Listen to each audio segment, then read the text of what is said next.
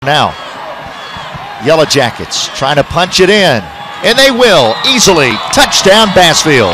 Timothy Arnold takes it in, carries it in for the score, and believe it or not, Harry, just his second rushing touchdown of the season.